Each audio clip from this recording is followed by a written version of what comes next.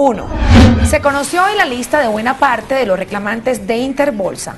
Llaman la atención tres cosas. Una, la aparición de muchas entidades religiosas.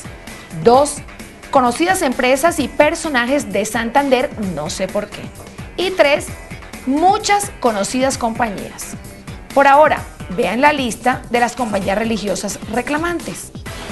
Universidad Santo Tomás, 1.267.852.161.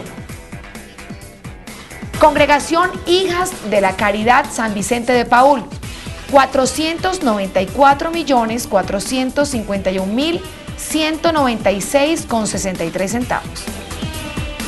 Comunidad Religiosa Misioneras Recoletas, 304.926.687 con 16 centavos. Convento Cristo Rey, 1.249.717.830. Universidad Pontificia Bolivariana, monto indeterminado. Monasterio de Monjas Carmelitas Descalzas de Popayán, 165.401.884 con 23 centavos. Comunidad Hermanas Dominicas de la Presentación, 621.954.634. Convento Cristo Rey, monto indeterminado. Congregación Religiosa Terciarias Capuchinas, Provincia San José, monto indeterminado. Corporación Minuto de Dios,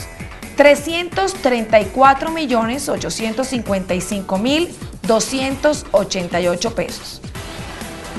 Congregación Dominicas de Santa, monto indeterminado.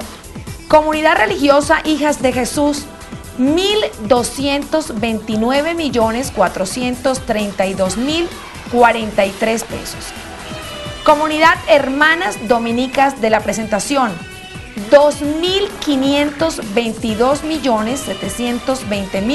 2.522.720.771 pesos con 3 centavos. Euros, 201.943 con 3 centavos. Hermanas de la Caridad Dominicas de la Presentación, 257.543.209 pesos con 88 centavos. Universidad Pontificia Bolivariana, 494.102.587 pesos. Universidad Pontificia Bolivariana, 1.007.784.593 pesos. Consejo Episcopal Latinoamericano, 1.178.893.725 con 17 centavos. Comunidad Religiosa Hijas de Jesús, 1.555.205.575 pesos. Universidad Santo Tomás, 5.577.874.194 pesos con 27 centavos. Quiero aclararle a los mencionados ahorradores inversionistas de Interbolsa que no se asusten, sus dineros no están perdidos. Algunos en carteras colectivas ya fueron trasladados y otros están en ese proceso. Yo diría, Ana María, que con